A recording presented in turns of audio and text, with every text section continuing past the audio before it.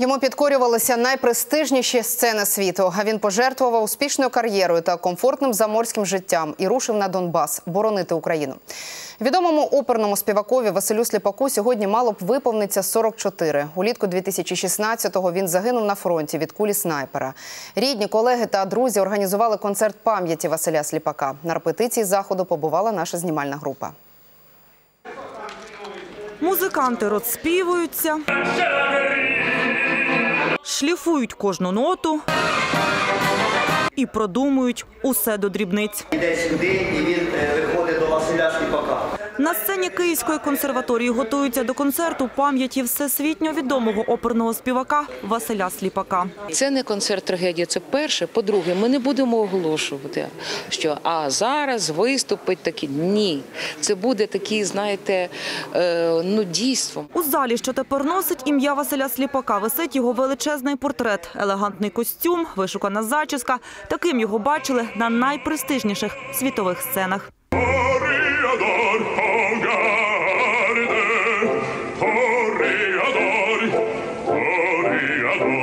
А це вже із козацькою чуприною Василь підбадьорює побратимів на передовій. Toreador, Торіадор, garde, Toreador. Він 19 років прожив у Франції, працював солістом Паризької опери, мав унікальний контртенор, але навесні 2014-го перервав успішну кар'єру і приїхав боронити Україну. Не було ні військової кафедри, нічого. Тобто я мене не призивали, бо нас в принципі не призивають. Ось, але ем, всьому навчився на місці. Міцний, високий під 2 метри. Він був гарним кулеметником.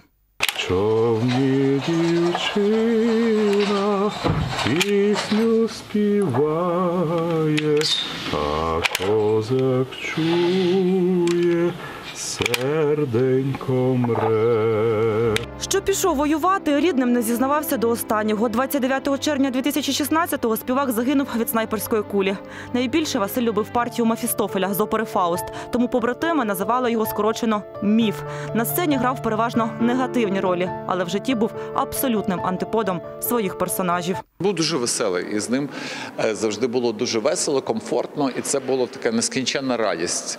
І, на жаль, цієї радості зараз немає, і тому його бракує. Дуже така відкрита рана. У Київській консерваторії, де завершуються останні приготування до концерту, Василь Сліпак не виступав жодного разу. Але у 90-х його сюди готовий був взяти на навчання батько нинішнього ректора Олег Тимошенко. На той час Василю вже тричі відмовили у Львівській консерваторії. Коли він почув виступ е, Василя е, на Київ Мюзик Фест, то він дав ввечері е, інтерв'ю на центральні канали телебачення.